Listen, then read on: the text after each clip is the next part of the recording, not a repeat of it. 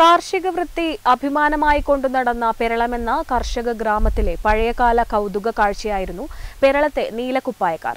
കാർഷിക വൃത്തിയിൽ ഏർപ്പെടുന്നവരുടെ എണ്ണം കുറഞ്ഞിട്ടും നീലക്കുപ്പായം ഉപേക്ഷിക്കാൻ തയ്യാറായിട്ടില്ല ഈ നീലക്കുപ്പായക്കാരുടെ അവസാന കണ്ണികൾ. ആയിരത്തി തൊള്ളായിരത്തി അറുപത് മുതൽ ആയിരത്തി തൊള്ളായിരത്തി എൺപത് വരെ പെരളം ഗ്രാമം നീലക്കുപ്പായക്കാർ കീഴടക്കിയിരുന്നു. എവിടെ നോക്കിയാലും നീലക്കുപ്പായക്കാർ മാത്രം. ഷർട്ടിനു പകരം കട്ടിയുള്ള നീല കോട്ടൺ തുണി കൊണ്ടുണ്ടാക്കിയ പ്രത്യേകതരം കുപ്പായവും മുട്ടിനു തൊട്ടു താഴെ അവസാനിക്കുന്ന പത്താം നമ്പർ തോർത്തും പാളത്തൊപ്പിയുമായിരുന്നു അന്നത്തെ പെരളത്തെ കർഷക പട്ടാളത്തിന്റെ യൂണിഫോം.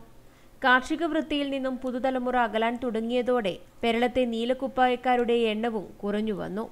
ഇപ്പോൾ പെരളത്തുള്ള നീലക്കുപ്പായക്കാരുടെ എണ്ണം പതിനഞ്ചിന് താഴെ മാത്രമാണ്. ഉള്ളവരാകട്ടെ എഴുപത് വയസ്സ് കഴിഞ്ഞവരും ഇന്നും നിത്യജീവിതത്തിന്റെ ഭാഗമായി തീർന്ന ഈ നീലക്കുപ്പായം ധരിച്ചു മാത്രമേ ഇവർ പുറത്തിറങ്ങി കാണാറുള്ളൂ. ഞാൻ വിചാരിച്ചാൽ ഒരു പത്ത് ഇരുപത് വയസ്സ് മുതലേ ഉണ്ട് ഈ വേഷത്തിൽ എന്ന് വെച്ചാൽ ഈ തോർത്തുമുണ്ടും ഈ നീല ബനിയനും ഇത് വേണ്ട. ഞാൻ രാവിലെ ഇറങ്ങിച്ച പാടും ഇതേ വേഷം തന്നെ. ഇനിയിപ്പം എവിടെ പോകുന്നുണ്ടെങ്കിലും പിന്നെ അടുത്ത പ്രദേശത്തെല്ലാം പോകുന്നുണ്ടെങ്കിലും ഇതേ വേഷത്തിൽ വരും അപ്പോൾ എന്റെ കൂട്ടുകാരുണ്ട് കുറേ. ഒരു അഞ്ച് പത്ത് ആൾ പത്ത് പതിനഞ്ചോളം ആളുണ്ട്. ഇപ്പോൾ കുറേ ആൾ പ്രായമായിട്ട് പോയി. അപ്പോൾ ഇങ്ങനെ ഈ ധരിക്കുന്നത് വെച്ചാൽ ഒന്നാമത് ഈ വേഷം വെച്ചാൽ ഈ ചൂടിന് ഇട്ടാലും നമുക്ക് ബാധിക്കില്ല ഏഹ് ഇനി മഴയത്ത് വിടുക വെയിലത്ത് വിടുക എവിടെ പോകുമ്പോൾ വിടുക. അപ്പോൾ ഇതാണ് ഇതിന്റെ പ്രധാനം അതാണ്.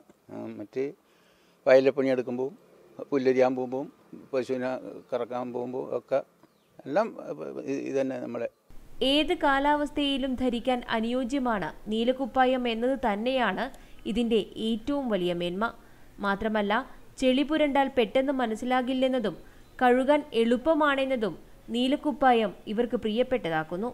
പെരളത്തെ നീലക്കുപ്പായക്കാർ ചരിത്രത്തിന്റെ ഭാഗം കൂടിയാണ്. വർഷങ്ങൾക്ക് മുമ്പ് കാർഷിക വൃത്തി അതുപോലെയുള്ള കായിക അധ്വാനങ്ങൾ കൂടുതലുണ്ടായിരുന്ന സമയത്ത് കാർഷിക വൃത്തി ചെയ്യുന്ന നമുക്ക് മാത്രമായി ഒരു യൂണിഫോം എന്ന ഒരു ആശയം ഉരുത്തിരിഞ്ഞു വരികയായിരുന്നു. അന്ന് യൂണിഫോം എന്നൊന്നും ആരും ചിന്തിക്കാത്ത ഒരു സമയത്തായിരുന്നു റേഷൻ കടകളിൽ നിന്നൊക്കെ അന്ന് തുണികൾ കൊടുക്കുന്ന നമ്മൾ പഴ പഴമക്കാർക്കൊക്കെ അറിയാമായിരിക്കും.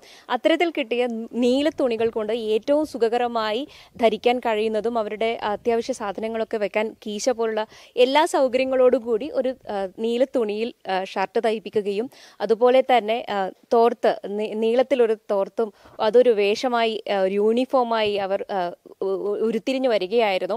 ഇന്നും പത്തോളം ആളുകളാണ് ആ വേഷത്തിൽ അവരുടെ കാർഷിക വൃത്തിയിൽ മുഴുകുന്നത് എവിടെ പോകുമ്പോഴും ഇത് തന്നെയാണ് ഏറ്റവും സുഖകരമായ വേഷമെന്നാണ് ഇവർ പറയുന്നത്.